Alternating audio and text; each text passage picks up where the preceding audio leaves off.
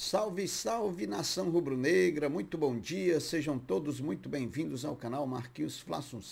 Nós estamos chegando na manhã desse domingo para trazer as últimas informações e as principais notícias do rubro-negro mais querido do Brasil e do mundo, o Clube de Regatas do Flamengo. Inicialmente, como sempre faço, eu pediria a você, rubro-negro, que ainda não é inscrito aqui no nosso canal, que você fizesse a sua inscrição, pois ela é muito importante para o crescimento do trabalho que também você deixasse o like e que compartilhasse os conteúdos nas redes sociais e que, por fim, você ativasse o sininho das notificações para que o YouTube pudesse notificá-los de tudo que estiver acontecendo de novidade aqui no nosso canal. Dito isso, vamos às notícias do Mengão, porque aqui não tem enrolação.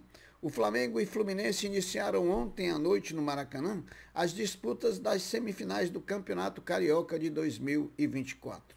O rubro-negro da Gávea saiu na frente vencendo por 2 a 0, aumentando assim a vantagem que já trouxe por ter sido campeão da Taça Guanabara, podendo agora perder até por 2 a 0, que mesmo assim estará na final do Campeonato Carioca de 2024. Flamengo 2, Fluminense 0, jogaram para um público pagante de 48.105 torcedores e para um público total de 52.169 torcedores, que proporcionaram uma renda de R$ 3.013.736,50. Faremos agora uma análise fria, porém objetiva do que foi Fluminense 0, Flamengo 2, ontem à noite no Maracanã. Flamengo, desde o início da partida, tomou a iniciativa de procurar definir o resultado, mesmo sabendo que tinha a vantagem já a seu favor. Flamengo literalmente não deixou o Fluminense jogar, mostrando uma cumplicidade bonita de se ver no sentido de marcação de todo o time, hoje comum a todos os atletas que estão em campo atuando pelo Flamengo. Depois de tanto buscar o gol, o Flamengo foi premiado nos descontos do primeiro tempo, mais precisamente aos 47 minutos, com um gol de Cebolinha em maravilhosa assistência de Eric Pugar, do chileno Eric Pugar. A verdade é que, ao anunciar a escalação inicial do Fluminense, imaginamos imaginamos que Fernando, Fernando Diniz facilitou um pouco a vida do Flamengo, quando ele escalou em seu meio campo um meio campo com Martinelli, Renato Augusto e Ganso. Você não pode botar Renato, Ganso, Renato Augusto e Ganso no mesmo meio campo, né, pessoal? Você fica muito vulnerável e muito exposto. Final do primeiro tempo, 1 a 0 Flamengo e o Flamengo volta para o segundo tempo com a mesma equipe que finalizou o tempo inicial. Porém, dando um certo espaço ao Fluminense que cresceu na posse de bola, mas que em nenhum momento incomodou o goleiro Rossi, que continuou a assistir a partida em local privilegiado, que é dentro do campo. E da mesma forma como no primeiro tempo, no final do segundo tempo, em assistência é, do mágico Arrascaeta, Pedro deu números finais à partida Flamengo 2, Fluminense 0. O Flamengo tem uma ampla vantagem, o Flamengo pode perder até por 2 a 0, que mesmo assim estará classificado para a final do Campeonato Carioca. Então, um resultado bom, um desempenho bom, um trabalho bom e a torcida do Flamengo está muito satisfeita com o que tem visto. Esse é o fato. Bom, depois da confirmação da convocação de Ayrton Lucas para os amistosos da data FIFA de março pela seleção brasileira de Dorival, ontem a seleção chilena eh, divulgou os convocados da seleção chilena e entre eles estava Eric Pugar. A expectativa agora é pela divulgação dos convocados da Celeste Olímpica, porque, muito óbvio, né? Temos aí Arrascaeta, Dela Cruz, Matias Vinha e Guilherme Varela jogando no Flamengo. O Sesc Flamengo, o vôlei do Mengão, depois da grande vitória diante do Minas na última sexta-feira, o time de Bernardinho terá ainda três partidas a disputar na Superliga. Veja com quem o Flamengo ainda jogará. O Flamengo joga dia 13, quarta-feira, contra o Praia Clube, fora de casa. Aliás, todos os jogos do Flamengo são fora de casa. Dia 18, numa segunda-feira, contra o Blue Vôlei, o Blumenau Vôlei, e, e finaliza no dia 22 de março, né? Contra o Brasília, precisando apenas de uma vitória nessa, nessas três partidas para garantir matematicamente o primeiro lugar geral dessa fase da competição. Então o Flamengo está a uma vitória de garantir o primeiro lugar geral, o que possibilitará você possibilitará o Flamengo a ter vantagens nos, nos playoffs, como, por exemplo, definir todos os playoffs jogando em casa. O ex-lateral esquerdo e agora treinador do time sub-17 do Flamengo, Felipe Luiz, fez a estreia oficial em grande estilo ontem, sábado. Felipe Luiz comandou a equipe na vitória por 5 a 1 sobre a Cabo Friense na estreia do Flamengo na Copa Rio, partida que foi realizada no Centro de Educação Física Almirante Adalberto Nunes, popularmente conhecido como Cefam, localizado na Via Brasil. Os gols foram marcados por Lipão, que veio do Vasco esse ano para o Flamengo, Iago Cardoso, Joshua Camargo e também Cristian. Então, Boa sorte aí para o Felipe Luiz. Meus amigos, o Flamengo Futebol Feminino, jogando na Gávea pela Copa Rio, enfrentou e venceu o Vasco da Gama por seis tentos a um, com direito a restrike da Cristiane com três gols. Duda, Jucinara e Ana Vitória é, completaram o marcador. O resultado não foi suficiente para a conquista do título da Copa Rio Feminina pelo Flamengo, uma vez que o Botafogo goleou o Fluminense e sagrou-se campeão da competição. A FEG, Federação de Futebol do Estado do Rio de Janeiro, antes do início das disputas das semifinais do Carioca 2024, notificou os clubes envolvidos sobre uma nova recomendação para conter a reclamação generalizada dos jogadores ante a arbitragem. No comunicado, a entidade deixou claro que apenas os capitães de cada time estarão aptos a falarem com os árbitros. Desse modo, os jogadores receberão cartão amarelo caso a regra seja ignorada. Eu acho que o que a gente viu ontem no Fla-Flu já cai por terra isso aí, hein?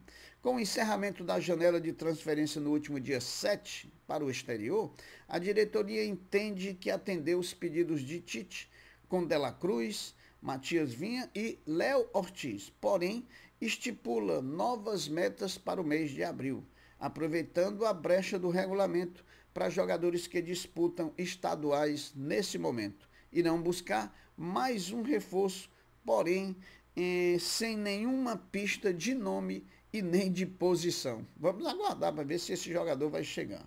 A Federação de Futebol do Estado do Rio de Janeiro confirmou na última sexta-feira o horário e a, e a data do jogo de volta das semifinais do Carioca entre Flamengo e Fluminense, que será novamente no próximo sábado, dia 16, às 21 horas, no Maracanã, ou seja, no mesmo horário que foi jogado o jogo de ida ontem, jogo pelo qual o Flamengo venceu o Fluminense por 2 a 0.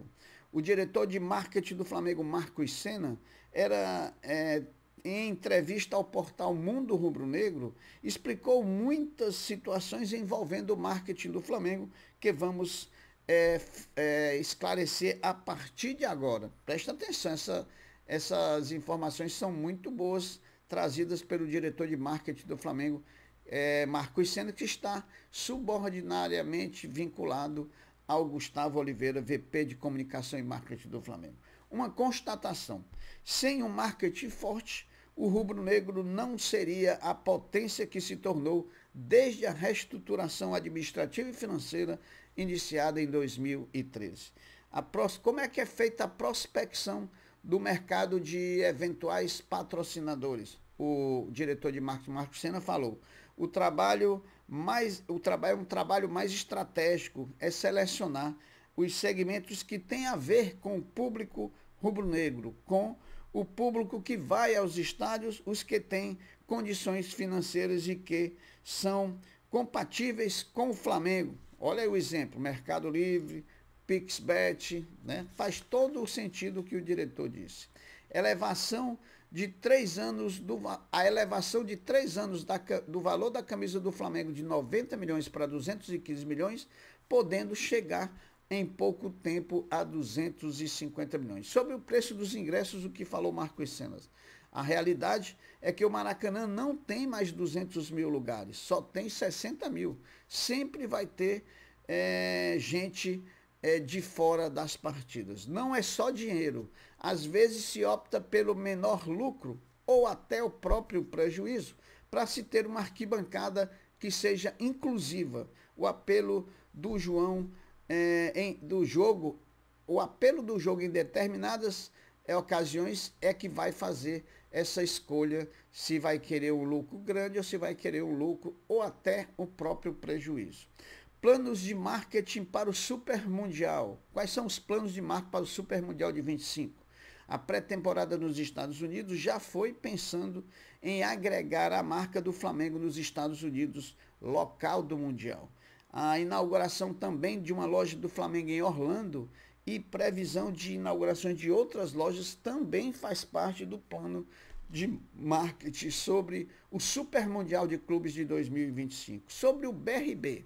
Sobre o BRB, isso assim, o contrato é, com o BRB só foi de três meses e só foi feito assim para se ter mais tempo para continuar conversando, para se achar a melhor equação que seja boa para ambas as partes.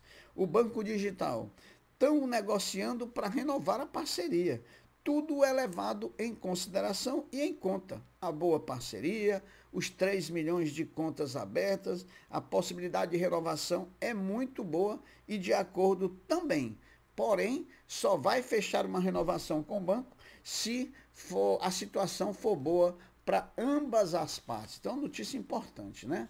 Meus amigos, o Flamengo tem três garotas do Ninho convocadas pela técnica da Seleção Brasileira Sub-17 Simone Jatobá para as disputas do Sul-Americano Sub-17 eh, da categoria. São elas Sofia Couto, Kailane e Larissa são as rubro-negras convocadas para a seleção.